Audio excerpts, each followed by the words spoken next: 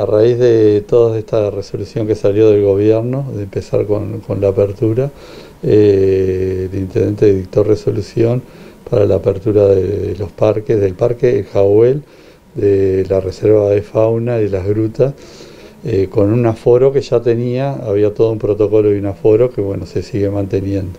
Y después eh, todo lo que son los eventos y, y, los restaurantes eh, hasta la una de la mañana con los mismos protocolos que se venían llevando a cabo. En el ya tenemos un operativo armado, tanto con la empresa de seguridad que está eh, ahí como con los propios funcionarios. Eh, ayer estaban armando toda la operativa de limpieza y desinfección que hay que hacer en el parque. Y bueno, y después bueno, el ingreso con tapaboca y con un aforo de 500 personas. Y bueno, y ahí se va controlando el ingreso de, gente y el flujo de entrada y salida.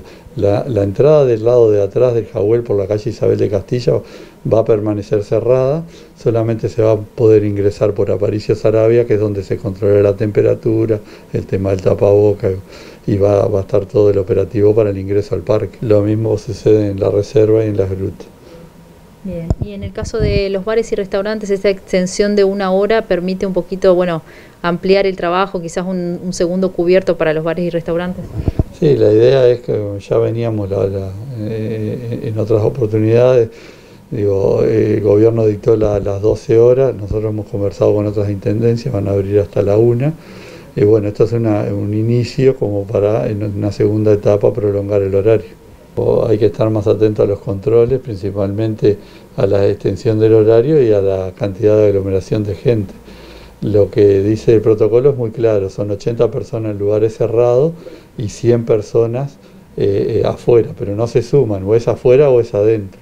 Y siempre estamos hablando de locales y lugares habilitados, que funcionen bajo un protocolo. Esto no, no es para hacer una fiesta en una casa, nada, es para lugares habilitados. En el marco de estas medidas, ¿qué se le dice o qué se le pide a la gente también, no tanto a los que concurren a los bares y restaurantes, los que van a participar de una fiesta o los que van a concurrir a un par? Sí, digo, que traten de mantener la distancia eh, y bueno, y respetar los protocolos que es lo más importante, porque esto todavía no ha pasado, si bien tenemos un descenso de casos, Maldonado está con un índice muy alto, y bueno, eh, lo mejor que podemos hacer es todo el tema de la prevención, entonces bueno, tratar de respetar todo lo que son los protocolos. Intendencia de Maldonado. Construyendo futuro.